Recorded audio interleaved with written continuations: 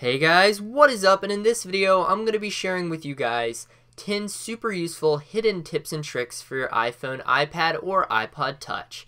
Now these are going to work on both iOS 9 as well as iOS 10, and these are going to range from battery life to pretty much everything else to improve your overall experience. So with that being said, be sure to hit that subscribe button so you're notified whenever I make a new video, and let's get straight into the video.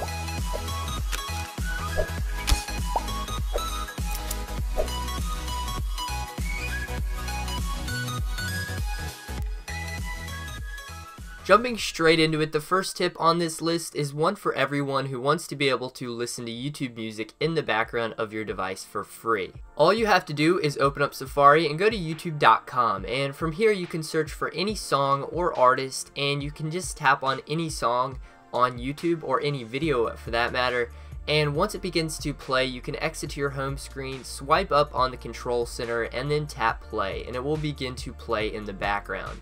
Now this is a great way of listening to free music while you're using your phone. Also for anyone wondering, I am on iOS 9, however it also works on iOS 10 and it's a really, really good way of doing this since the normal YouTube app doesn't allow you to do this. Now a very useful life hack for watching videos everyone should know is when you're watching a video you can actually adjust how fast you scrub through that video. So for example, if I tap and hold right here where I scrub like normal, if I scrub it moves pretty quickly. However, if I drag my finger down on the screen and then scrub, you can see it's much finer and I'm able to move slowly. So this is a very useful trick to know when watching videos.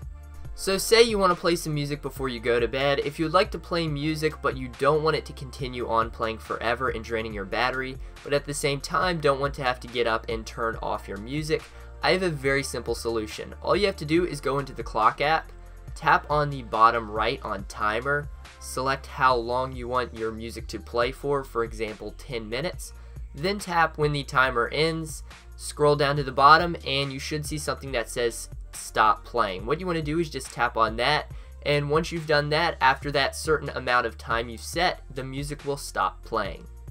If you would like to delete a bunch of photos at once and you don't want to go through each and every individual photo and you want to save some time, what you can actually do is tap select in the top right, then tap on a photo and then swipe over all the photos you want to delete. You'll notice it will highlight them with a check mark then tap on the trash can and tap delete. And boom, just like that, they're all gone.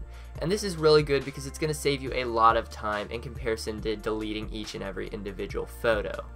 Now an easy way to get rid of those really annoying ads in games without actually paying anything is to swipe up on Control Center and simply put your phone into airplane mode. Then double click on the home button and cancel out of the app you are using. Then once you've done that, exit to your home screen and open up the app again and you'll see all of the ads will magically disappear.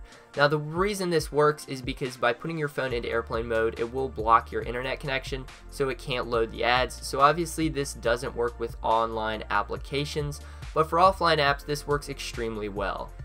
If you don't have much time but want to charge your phone and charge it up as much as possible before you go somewhere, what you can do is swipe up on Control Center and toggle on airplane mode. Now I'm sure quite a few people know about this, but this is something everyone should know and what this is going to do is it will block all cell signals, making your phone charge much, much faster.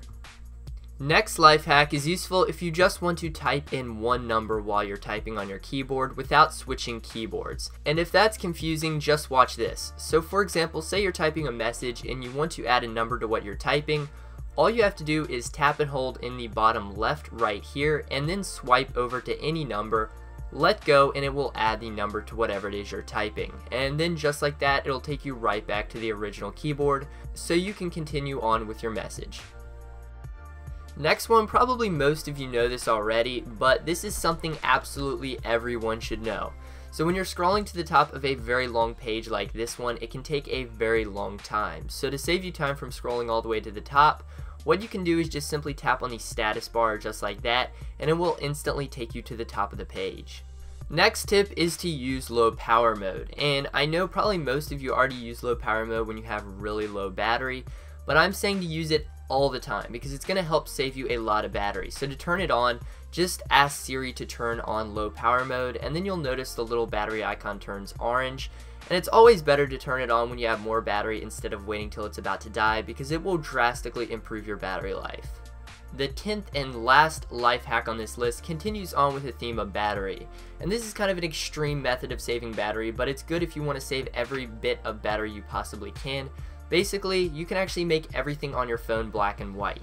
Now this is going to help save even more battery on top of low power mode. And to do this, what you want to do is go into settings, go into general, scroll down, tap on accessibility, and then toggle on grayscale. And just like that, everything will be black and white. Now this is system wide, so it works on all of your apps, and it's going to help you save a little bit more battery life on your device. Anyway guys, that about wraps up this video. I hope you found it interesting, and I hope you learned a few new tips and tricks for your iOS device. Anyway guys, thanks for watching, and I'll see you in my next video.